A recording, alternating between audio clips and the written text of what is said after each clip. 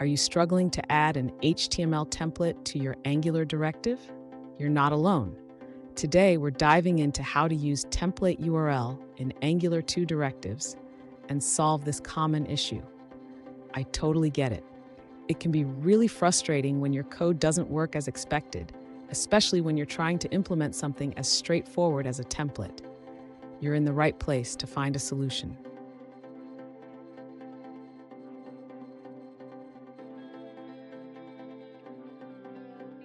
Let's look at the specific question at hand. One user asked, How do I add an HTML template to a directive?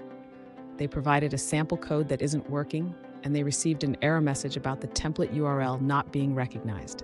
Sound familiar? Let's break it down. So, what's going on here? The error message indicates that the template URL property is not recognized in the directive's metadata. This is a common issue that many developers face when transitioning to Angular 2. And stick around. By the end of this video, you'll not only know how to fix this issue, but also gain insights into best practices for using templates in Angular. To resolve the issue with the directive, the user should first understand that Angular directives do not support the template URL property. Instead, they should use the template property to include HTML directly. Next, if the user wants to keep the HTML in a separate file, they can use the component decorator instead of directive. This allows the use of template URL. After updating the directive or converting it to a component, the user should ensure that the HTML file is correctly referenced and exists in the specified location. Finally, the user should test the application to confirm that the directive or component is functioning as expected. They can do this by running the application and checking for any errors in the console.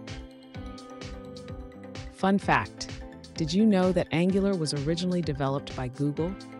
It's come a long way since its inception, and understanding its nuances can really enhance your development skills. Now let's look at the answers provided by other users. This user points out that according to Angular documentation, there are two types of directives, attribute and structural. Neither of these types supports templates. Instead, they suggest using an Angular component for this purpose. They also ask if there is a specific reason for wanting to use a directive. Here's a pro tip. Always check the Angular documentation for the version you're using. It can save you a lot of headaches and keep your code up to date. And there you have it. You've learned how to properly use templates in Angular directives. If you found this video helpful, Please subscribe for more tips and tricks. Remember, coding is a journey, and every step counts.